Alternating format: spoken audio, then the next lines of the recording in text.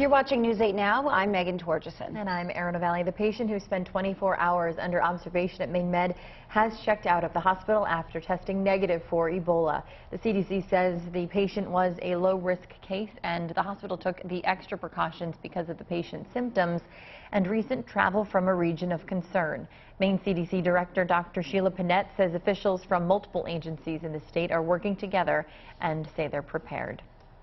The man accused of killing his pregnant girlfriend in a hit and run in Lewiston will face a judge today.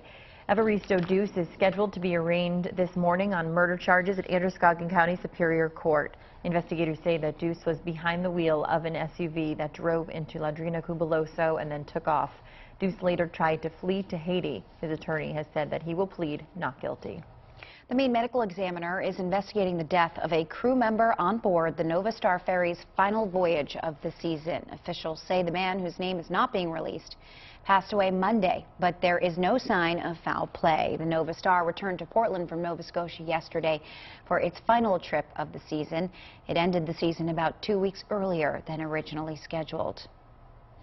Last night, as the sun went down, the Messalonskee High School community gathered to remember Cassidy Charette. The 17-year-old was killed in that tragic hayride accident over the weekend in Mechanic Falls. Earlier in the day, the girls' soccer team wore shirts with Cassidy's name as they took the field for the first time since their teammate died. Thanks for tuning in to this News 8 Now update. I'm Erin Ovalle. I'm Meghan Torjussen. Make sure to check back at WMTW.com and our mobile app for the top stories and weather anytime. Have a good day. Música